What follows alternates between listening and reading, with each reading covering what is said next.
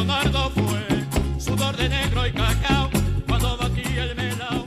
Bueno, porque marchamos hoy? Porque estamos defendiendo los logros que en Revolución nosotros como pueblo hemos obtenido. En este sentido, pues estamos acá en defensa de la gran misión Vivienda Venezuela, que ha sido una misión, bueno, fijada por el presidente Hugo Rafael Chávez Frías y que continúa nuestro camarada presidente Nicolás Maduro,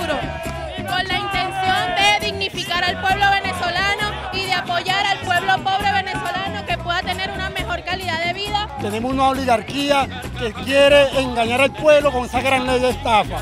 Ahora que la, la vivienda es una realidad, ellos decían anteriormente que era una ley maqueta. Julio Borges, el gran CJ, quiere seguir engañando al pueblo porque esa es la forma como ellos vienen manipulando al pueblo con mentiras, con engaños. Nuestro pueblo vivía en ranchos, vivía en las peores condiciones y hoy en día podemos decir que tenemos más de un millón de viviendas entregadas al pueblo pobre. Estamos bien parados con una constitución y con una esperanza de que va a ser otro país nuevo, un país nuevo que quería Chávez.